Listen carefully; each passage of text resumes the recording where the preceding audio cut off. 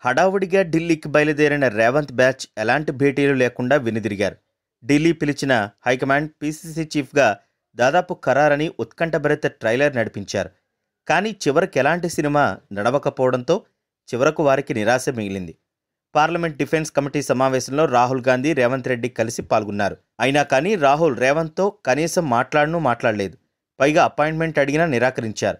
కాంగ్రెస్ అధినేత్రి సోనియా గాంధీ టీపీసీసీ రాష్ట్ర వ్యవహారాల ఇన్ఛార్జ్ మాణిక్యం ఠాకూర్ కాంగ్రెస్ పార్టీ జాతీయ జనరల్ సెక్రటరీ కేసీ వేణుగోపాల్ సైతం రేవంత్కు అపాయింట్మెంట్ ఇవ్వడానికి ఇష్టపడలేదు.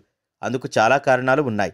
ఓటుకు నోటు కేసు దర్యాప్తు వేగవంతం అవ్వడం అధిష్టానం దృష్టికి వెళ్ళింది. అప్పటికే ఈ కేసులో ఏ త్రీగా ఉన్న ఉదయసింహ అరెస్టుకు ACB court non bailable warrant జారీ చేసింది. దీంతో ఉదయసింహను అరెస్ట్ చేశారు. కాబట్టి వారం రోజుల్లో రేవంత్ అరెస్ట్ అయ్యే అవకాశాలు ఉండడంతో ఇప్పుడు రేవంత్తో భేటీ అయితే ప్రజల్లోకి తప్పుడు సంకేతాలు వెళతాయని అధిష్టానం భావించి రేవంత్కు అపాయింట్మెంట్ ఇవ్వలేదు. ఎంతో ఆర్భాటం చేసిన రేవంత్ బ్యాచ్కు ఢిల్లీ పర్యటన నిరాశను మిగిల్చింది.